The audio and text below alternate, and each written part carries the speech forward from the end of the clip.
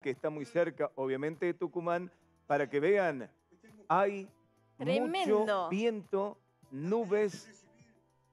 Una nube de tierra que está ingresando a la ciudad de Metán. Vemos que los trabajadores del campo han parado las máquinas, los tractores, eh, atónitos, sorprendidos con esta situación. Parece una, eh, no sé... Una que- tromba marina, parece, Tal ¿no? cual, Una que se viene increíble. algo terrible, es Sí. una nube de tierra, un fenómeno increíble que se está dando en el límite entre Salta y Tucumán. Esto es en Metán, agradecemos eh, los videos, por supuesto, que nos han enviado y ahí se puede ver desde la ruta, entonces, desde el otro lado, cómo se empieza a formar de a poquito, cómo se empieza a oscurecer, además todo, tiene que ver entonces con esta eh, nube de, de tierra, de polvo, que está ingresando en la zona sur de la provincia de Salta, límite con la provincia de Tucumán. Bueno, y lo decía hace rato nuestro móvil de Tucumán, aquí fue tremenda la lluvia, nos decía que había aparecido un huracán y lo que nosotros estamos observando casualmente en el límite con Tucumán es esto,